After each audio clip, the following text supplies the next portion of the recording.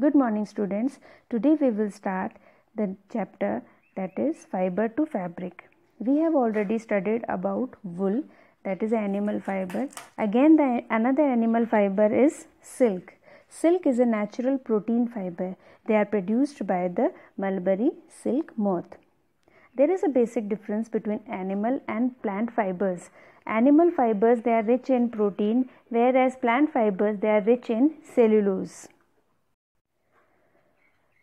Now next topic is silk farming, sericulture. Rearing or taking care of silkworm to produce raw silk is called sericulture. Life cycle of silk moth. There are various stages in the life cycle of silk moth. Egg grows into larva. Larva is also called silkworm or caterpillar. It further grows into pupa. Pupa develops silk fiber around it and that is called cocoon and finally adult silk moth comes out of the cocoon. The female silk moth lays eggs on the mulberry leaves.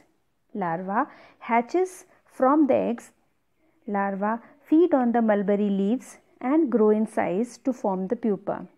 You must be observing that in fourth point I have written larvae because plural form of larva is larvae. Larva singular, larvae plural.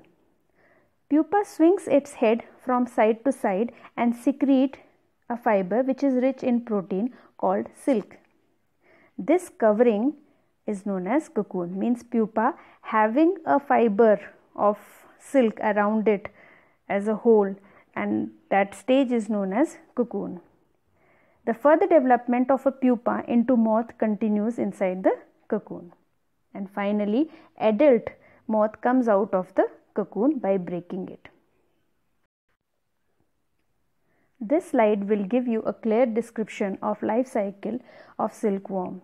You can see adult moth is there adult female moth basically they lay egg and then egg develops into larva larva feeds on mulberry leaves for few days and then it undergoes a next stage called pupa pupa develops silk fiber by spinning its head side to side and after that a stage called cocoon is formed inside the cocoon the pupa develops into adult moth and it breaks off the cocoon and comes out as a adult moth.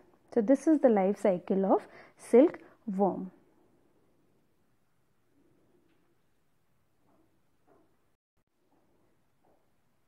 In this activity also you can see how nicely the model has been prepared using simple material like clay and colored paper. Eggs are being shown first stage. The adult moth they are lay, laying the eggs. They have laid the eggs on the mulberry leaves. Then it develops into larva larva into cocoon. Pupal stage is there inside the cocoon. Now two stages can be there.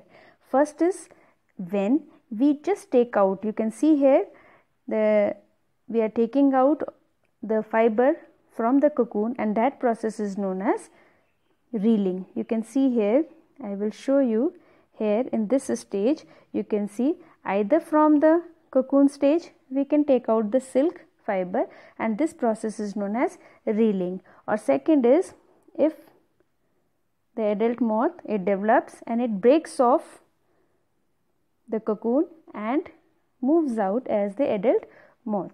So two stages can be there. If they are doing the sericulture process, so this one is done and some of the cocoons they keep for the development of adult moth and 80% is used for sericulture.